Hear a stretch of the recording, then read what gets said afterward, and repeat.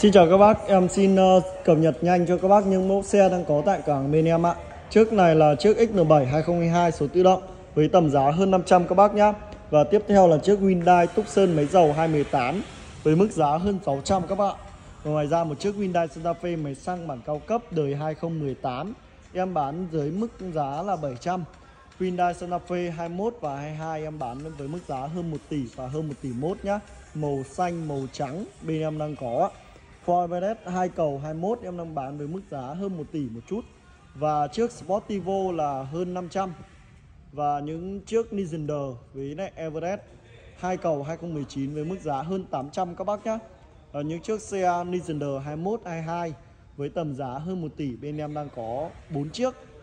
Và những chiếc Cativan với tầm giá hơn 400 đây ạ. Đời 27 số tự động phanh điện tử, có cửa sổ trời, máy xăng 2.4 Santa Fe cũng máy xăng bản cao cấp đời 20 với mức giá hơn 800 Toyota Cross bản V với mức giá hơn 700 đời 2021 Còn tầm tiền hơn 500 các bác muốn mua Hyundai có một chiếc Kona nhé Carnival bản Signature máy dầu 2021 MG HS Sport hơn 500 một chút.